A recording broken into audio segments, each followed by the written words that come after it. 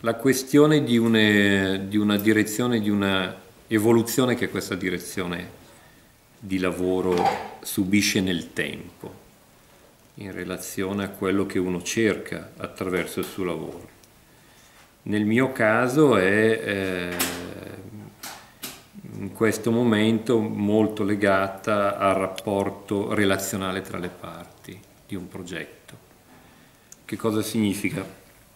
Significa che sempre più mi rendo conto che c'è una parte di complessità nel progetto che è legata uh, a una um, divisione, dire, di ruoli specifici che queste parti hanno, che però prendono poi forza nella loro unità.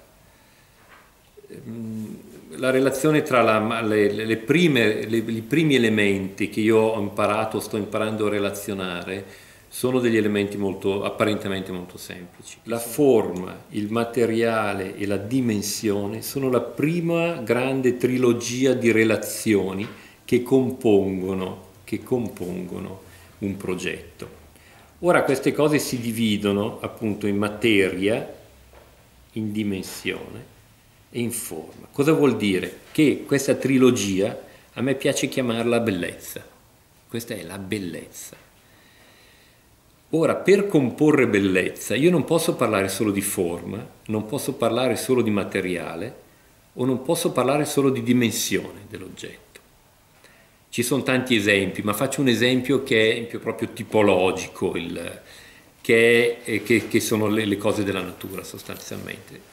Se io prendo un uovo, una, un elemento apparentemente molto semplice, e ne misuro appunto la materia e scopro che un cristallo molto fine di, eh, di, di, di calcio sostanzialmente, che la dimensione è di circa 6 cm, eh, eccetera. Che il terzo elemento, la forma, è una forma grazie alla quale la sezione avoidale, se io carico in un certo modo, lavora strutturalmente come un arco composito. Queste tre cose danno la caratteristica principale dell'uovo, che lo gli dà la, le caratteristiche di leggerezza, la caratteristica di resistenza e la caratteristica di, di leggerezza, di resistenza e quindi di funzionalità. Queste tre cose messe assieme danno quello che noi troviamo nell'uovo, che è questo sentimento della bellezza dell'uovo, che è il grande mistero questo, del guscio. Tant'è vero che poi diventa addirittura una forma simbolica l'uovo, perché la si usano i grandi artisti, eccetera.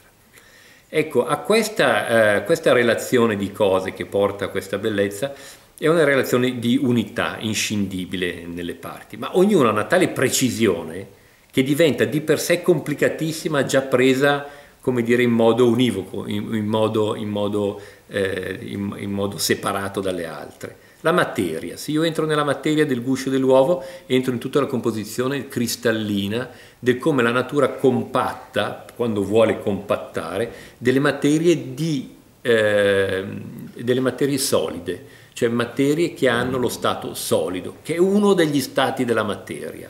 Per far questo una geometria molto complessa, che è la geometria del cristallo, cioè deve compattare delle unità molecolari secondo una costruzione che è chimica sostanzialmente, che dà la forma del cristallo. La composizione chimica molecolare dà la forma del cristallo. Questa forma, che generalmente è una forma tetraedrica nel cristallo, diventa poi miracolosamente in macroscala, non più in microscala ma in macroscala, diventa non più tetraedrica ma diventa ovale.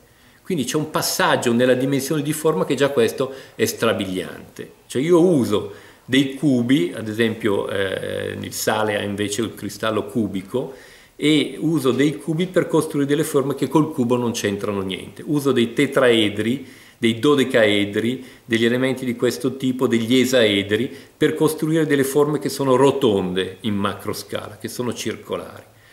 La seconda cosa è, avevamo detto, è la dimensione. C'è un rapporto tra questa materia e la dimensione dei 6 cm dell'uovo. Lo spessore dell'uovo, che è sotto il millimetro, in relazione ai 6 cm della dimensione, dà questa rispetto alla massa che mi serve per coprire questa superficie, che è l'area superficiale dell'uovo, mi dà un peso di circa 6-7 grammi, sostanzialmente parlo solo di guscio.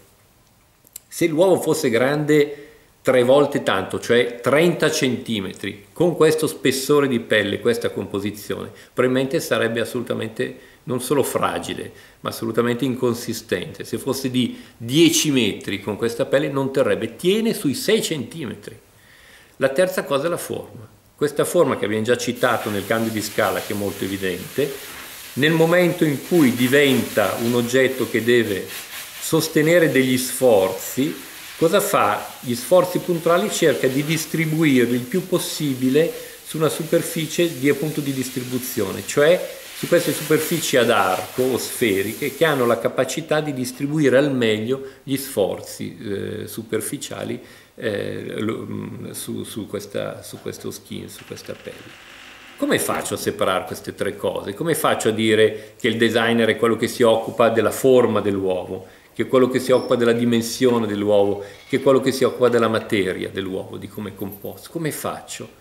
Ora compare una quarta funzione, che è quella che l'uovo è un contenitore, una quarta relazione, no? è un contenitore e contiene un sistema organico che ha a sua volta delle leggi molto precise, che diventerà in altre condizioni, diventerà la nascita di una vita. Ora, tac, un'altra relazione. Ecco, questo è un tema che io trovo interessante, capire che anche in una sedia, in uno sgabello, in una scarpa, le cose che io metto assieme sono una capacità di unire delle relazioni specifiche per comporre un unicum alla fine, che è quello che io chiamo l'oggetto di design.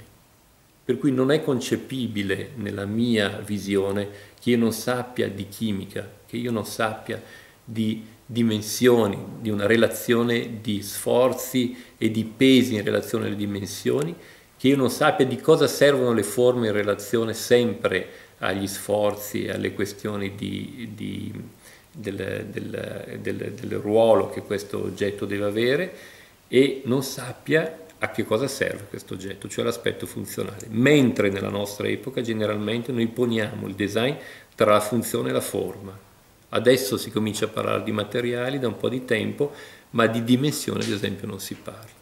Ecco, il tema delle relazioni tra le parti. Poi ci si potrebbe mettere dentro tante altre cose, il fatto che una vita che si riproduce, che relazione è? È una relazione con un sistema dell'universo, col sistema biologico, col sistema...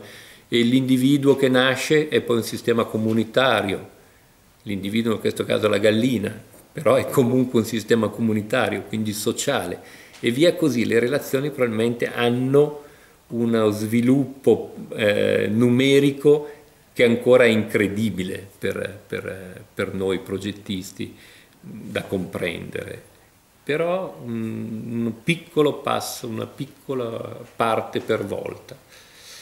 Questo è il tema che mi intriga molto del design in questo, in questo, momento, la questione che nulla è, tutto è legato a una relazione di quantità e di, e di, e di, di scusate, quantità, di, materie, di funzioni, di dimensioni, eccetera. E andando poi a vedere, è bello, se tu cerchi questo, sotto questo argomento, trovi che anche nella Bibbia, che comunque è il libro più venduto del mondo, più, più pubblicato del mondo, si dice Dio creò l'universo secondo pesi, secondo misure, secondo eh, materie, una cosa del genere. Quindi anche se si è credenti o non si è credenti, c'è comunque una relazione molto complessa tra le parti.